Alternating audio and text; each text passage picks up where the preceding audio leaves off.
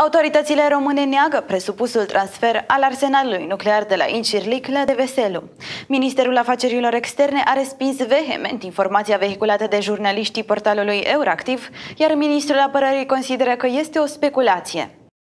În urma informațiilor de ieri, conform cărora America ar transfera armamentul nuclear din Turcia în România, în contextul înrăutățirii relațiilor dintre Washington și Ankara, autoritățile române declară cu fermitate că știrea nu este altceva decât o speculație. Mai mult, fostul premier Victor Ponta afirmă că această știre este o minciună cu scopul de a afecta siguranța națională. Este clar nevoie de o acțiune legală contra autorilor și de o analiză a modului în care a fost construită această știre. Eu am motive să cred că a fost concepută într-un laborator din străinătate, poate Moscova, dată unui tovarăș de la euractiv.com și plasată în România printr-o rețea deja folosită anterior. Dacă tot ne-am indignat față de povestea de la Sky News și am arestat oameni pentru asta, știrea cu arme nucleare mutate în România este de 100 de ori mai gravă și aptă de a aduce uriașe prejudicii siguranței naționale. Ca cetățean al României și deputat în Parlament, solicit public autorităților în drept să ia urgent toate măsurile necesare și să informeze opinia publică, a declarat Victor Ponta pe pagina de Facebook. Site-ul Euractiv declară că ar fi vorba de peste 20 de arme nucleare, iar transferul pare să fie îngreunat de condițiile politice din Turcia. Două surse citate de site-ul Euractiv.com confirmă transferul armamentului nuclear al SUA din Turcia spre România. Una din surse declară că peste 20 de arme nucleare vor fi mutate, iar transferul ar fi îngreunat de condițiile tehnice și politice din Turcia. O altă sursă precizează pentru Euractiv că focoasele nucleare ar urma să fie mutate la baza militară de la Deveselu. Lovitura de state șoată împotriva lui Erdogan a provocat probleme între autoritățile turce și cele ale SUA, astfel că sursa de curent de la baza militară de la Incirlik a fost oprită, controlul executivului turc asupra bazei aeriene a dispărut, iar avioanele americane nu au avut acces la bază. Aceleași surse afirmă că administrația americană nu mai are încredere în regimul de la Ankara și că au fost ridicate semne de întrebare cu privire la siguranța focoaselor nucleare, mai ales în cazul în care ar fi continuat mișcările de stradă. Potrivit unui raport, SUA ar avea la bază de la Incirlik peste 50 de arme nucleare. Pe de altă parte, cei de la Euractiv declară declară că plasarea armelor nucleare în România ar complica și mai mult relațiile cu Rusia. Totuși, aceste informații sunt respinse cu fermitate de către autoritățile române.